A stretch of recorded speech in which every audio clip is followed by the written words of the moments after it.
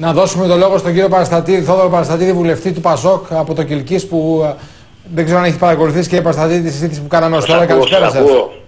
Καλησπέρα σας. Λοιπόν, λέ, λέ, είπε ο κύριος Σαμαράς πριν εκλογές. Μια δήλωση για τον Πρωθυπουργό θέλω να κάνω μόνο. Και Για πέστε μου, πέστε μου. Το μονί της Μάρας του Χρυσού. Τι είπε, Οπ. Τι είπατε. Ε, δεν ξέρω, μάλλον κάποια τηλεφωνική γραμμή ε, λάθος. Δεν μπορώ να πιστέψω. Ε, δεν ξέρω, αυτό που ακούσαμε όλοι με το μαζί. Πασόκ, με το Πασόκ όλα. όλα Ε, Μάλλον δεν πρέπει να ήταν ο ίδιος ο κ. Παραστατή. Και εγώ έτσι φαντάζομαι. Και εγώ έτσι Γιατί αν- φαντάζομαι. αν έχουμε φτάσει σε αυτό το σημείο, Άρα, αντιλαμβάνεστε. Προφανώς, προφανώς πρέπει να ήταν λάθος το τηλέφωνο, γιατί εγώ το θεωρώ απίστευτο αυτό το οποίο συνέβη. Ε, λοιπόν, να επικοινωνήσουμε με τον βουλευτή για να δούμε τι ακριβώς συμβαίνει, για να μην ε, έχουμε παρεξηγήσεις ε, και είναι άδικες για συγκεκριμένα πρόσωπα, κύριε Γεωργιάδη.